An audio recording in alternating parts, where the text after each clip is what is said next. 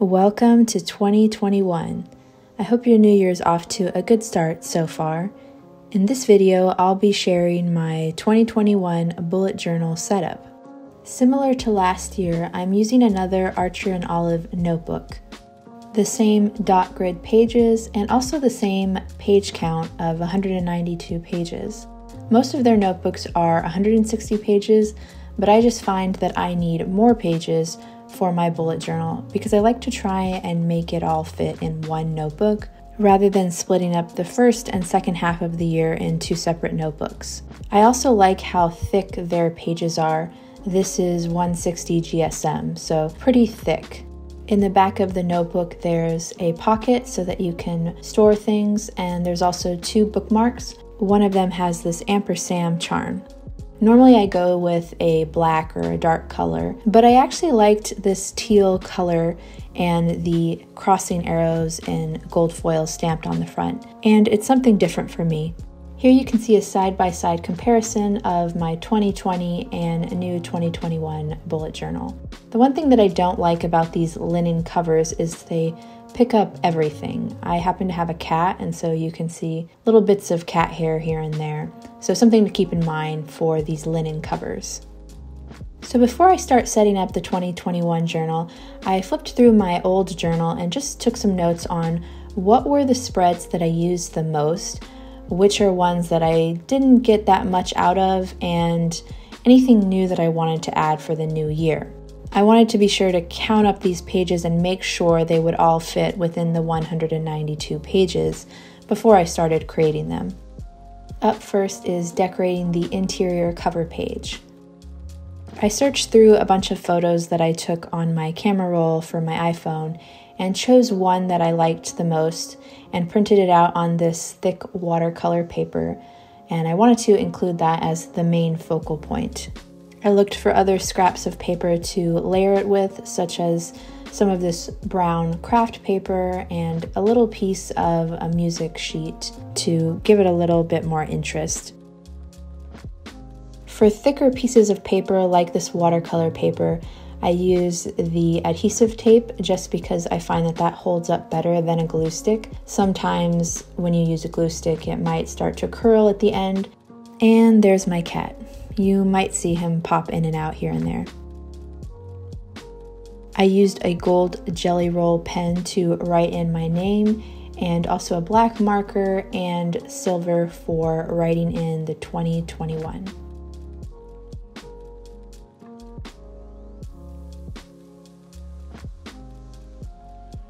What's different from last year is I didn't want to spend time making all of these little calendars for the future log. So instead, I searched online and found someone that was selling these mini calendars on Etsy. And I think they were on sale for like $1.85, which was a pretty good deal. So I printed those out, cut them, and pasted them in for my future log. If you also don't want to write in all of these tiny little calendars, you can do the same. There's so many available online. For me, it was hard to find one that I liked because a lot of the font styles were just too crafty and too like cursivey and just not my aesthetic. So it took me a while to find one with a minimal font style. Originally, I wanted to include all 12 months on one spread, but after printing them out, I just realized it wasn't going to all fit, so I ended up using two spreads. For the top borders, I wanted to use a light gray marker in the background. Here I am testing out the Copic markers, but I noticed that these bled through very heavily to the other side of the paper, as you'll see as I flip over to the next page. So for the rest of my borders uh, for this setup, I just used the light gray Tombow pen instead. After finishing up with the future log spreads, I flipped back and filled in the key on the first page. I always feel like the first page is kind of, you know, useless because of the way that the side is glued in. So I just thought I would use that for something simple like the key. The next page I dedicated to 2021 goals. And the second page I decided to divide in half the top half for bucket list and the second half for places I traveled to.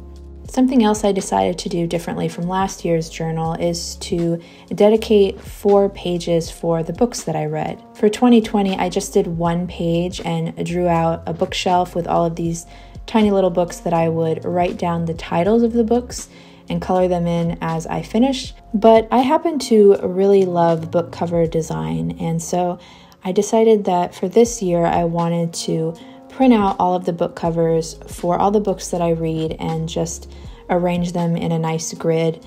And because of that, they'll take up more space. So, this is why I'm giving it four pages. The next spread is dedicated to my financial tracker and fitness and health tracker. I didn't make any changes to the financial tracker from last year because I found that it worked well for me.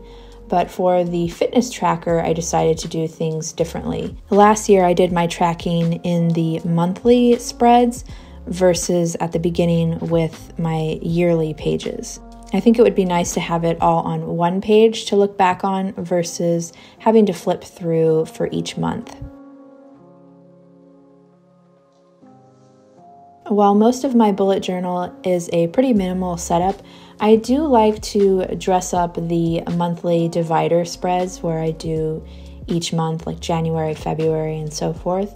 So for this spread, I'm doing a little bit of collage. I wanted to use some more of that brown craft paper, but I thought I would have it in the middle of the spread so that it carries to both pages. And I also wanted to include this newspaper clipping of the world map and kind of create this tr- world travel theme. I also like to collect the stamps from things that I receive as packages or mails, so I added these international stamps to give it more of that worldly travel vibe. And to finish off the design, I wanted to add some hand lettering for the word January. I used black India ink and this homemade calligraphy metal nib pen that I created many years ago to write out the word January. And I added 2021 underneath. Lately, I like to stamp my work when I'm done with it, so I use this date stamp to add in the January 1st, 2021 to the bottom. The next spread is the January calendar spread. I built this one similar to all the calendar spreads I created for 2020. Again, it's pretty minimal, just black pen, some light gray marker to add little accents here and there. I start my calendars off with a Sunday.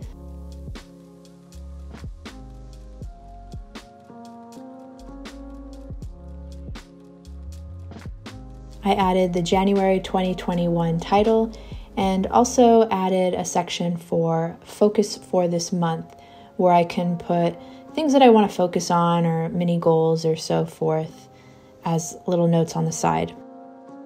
Since January starts on a Friday, I didn't want to have a full spread just for three days. So on this first page, I'm dedicating it toward my monthly goals for January. And then on the second page, adding in little spaces for Friday, Saturday, and Sunday, and notes for the following week. I also went ahead and set up the next week's spread for the full week, Monday through Sunday. This layout I'm changing up a little bit. In the past, I mostly did a horizontal layout, but I found that I just wasn't utilizing the space that much, so I decided to try out this layout where I'm dividing the page up into four quadrants, and that way I have a thinner column but more lines to write my to do items. And that concludes my 2021 bullet journal and January setup. Now let's do a final flip through.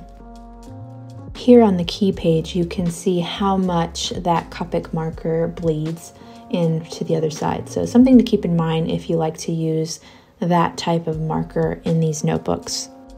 I'd love to hear about your bullet journal do you keep one? How do you organize it? Are there any specific spreads that you like to include that I didn't?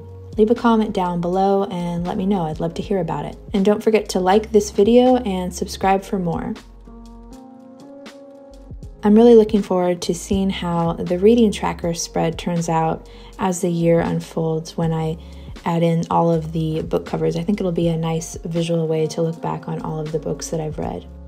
The finance and fitness trackers are also fun ones to look back on just because it's a nice, easy way to look at all of your progress over one entire year.